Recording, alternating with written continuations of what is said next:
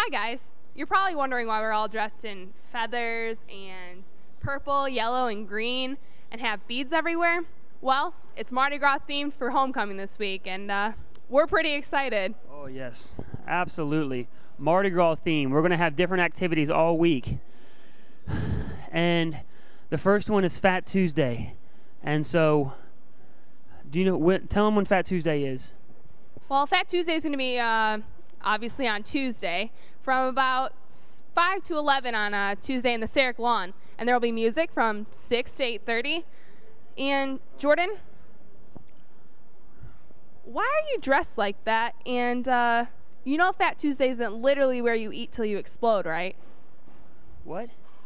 Yeah. Um, Fat Tuesday is more of a kickoff for Mardi Gras, so uh, I think you took that a little too literal.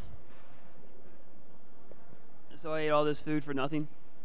I mean, Fat Tuesday you're supposed to eat, but I don't know if you're supposed to eat Oh. that much. Alright, well, you talk, I'll be back. Oh. All right, guys, so there you have it. Fat Tuesday kicks off Mardi Gras at 5 o'clock on Tuesday. So we hope to see you out there at Serrick Lawn, ready to eat. Maybe not as much as Jordan.